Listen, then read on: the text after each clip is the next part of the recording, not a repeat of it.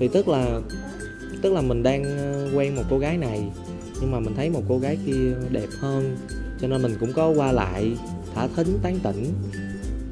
Ừ, dạ chưa.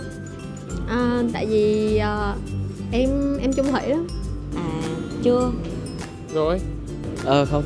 Tức là có thể là mình à, mình à, gặp cái anh nào đó dễ thương quá thì có thể là mình cũng có thể là nói chuyện và trò chuyện à, về mình có thể nghĩ đến ảnh chút xíu cái đó thì gọi là ngoại tình tư tưởng.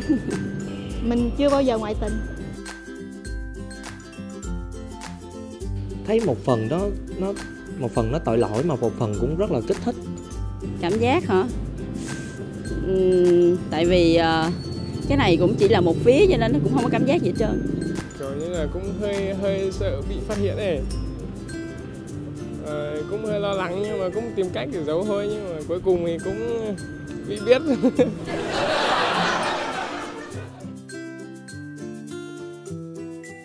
Không mình sẽ cắt đứt ờ, mối quan hệ kia và bằng một cách nào đó nhưng mà mình sẽ cắt đứt và sau đó sẽ quen người mới. Có thể là mình có thể sao động à, có thể là mình sẽ có lúc mình à, có những suy nghĩ khác nhưng mà mình không có làm cái gì vượt quá giới hạn. Cái gì cũng vậy hết thì khi mà chấm dứt ờ, một giai đoạn mới chấm dứt một giai đoạn cũ rồi thì mình mới bắt đầu cái giai đoạn mới thôi. Ờ, mình nghĩ là mình sẽ có một cái thời gian xa cái người cũ tí xíu và để có tạo cơ hội để ờ, coi xem cái người mới có phù hợp với mình không đã. Tính mình thì rất là là là nói chung là rất là trầm. Tức là kiểu như quân tử trả thù 10 năm chưa muộn á.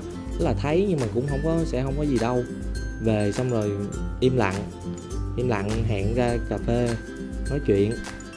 Ờ, xác nhận xong. Nếu mà xác nhận cho cái người đó là người đó đúng là ngoại tình thiệt và từ đó về sau là sẽ không gặp lại mình nữa. Ừ, mình khóc thôi.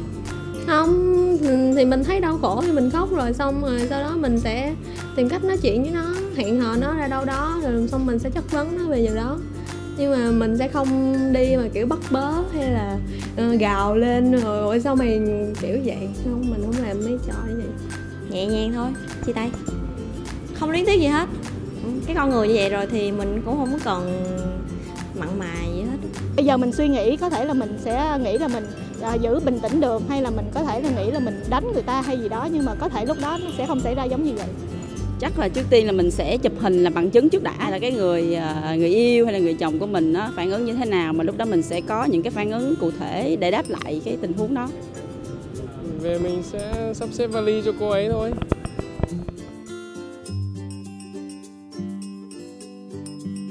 Nói chung ờ, khi mà quen nhau á, thì bất kỳ một cái lỗi lầm nào cũng có thể dễ tha thứ nhưng mà phản bội á, thì là một trong những cái tội lỗi là có thể không còn gặp nhau nữa nhưng mà không thể nào tha thứ được.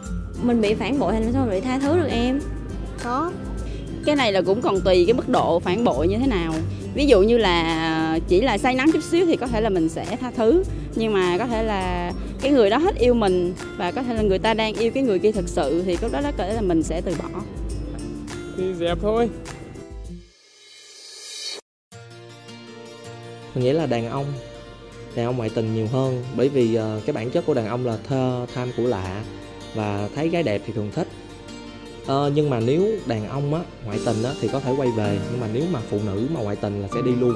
Mình nghĩ là về mặt ờ, bên ngoài á thì đàn ông ngoại tình nhiều hơn. Còn phụ nữ thì họ có thể ngoại tình nhưng mà họ sẽ rất là kín kẽ và bí mật. Và nhiều khi họ ngoại tình thì đàn ông cũng không thể nào biết được. Mình nghe nói là đàn ông thì ờ, ngoại tình nhiều hơn mình nghĩ là có phụ nữ ngoại tình thì cũng có đàn ông ngoại tình. Mình nghĩ là sẽ xem xem. Phụ đàn ông thì ngoại tình nhiều hơn nhưng mà khi mà ngoại tình thì người ta quay về với gia đình. Còn khi mà phụ nữ đã ngoại tình thì cái con số này có thể ít hơn nhưng mà một khi mà phụ nữ đã ngoại tình rồi thì người ta sẽ yêu thực sự và có thể là người ta sẽ không quay về với gia đình cũ nữa. Em nghĩ chắc là đàn ông tại vì bạn em đa số thằng nào cũng vậy thì theo chị biết cũng là đàn ông đó. Nói chung là mình cũng không thể nào lý giải được nhưng mà có thể đó là họ thích như vậy thể là người ta có thể tìm một cái cảm giác mới.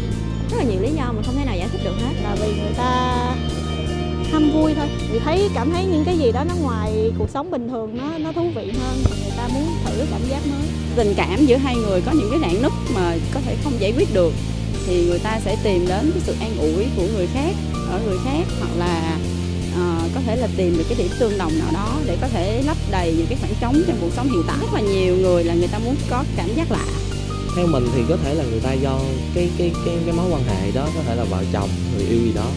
Thật sự nó không có hạnh phúc cái người kia không có mang lại những cái cảm giác uh, yêu thương hay là âu yếm cho mình được. Cho nên mình phải tìm tới một cái cách khác. Nhưng mà tại sao họ là ngoại tình? Bởi vì họ không có cắt đứt được cái mối quan hệ này.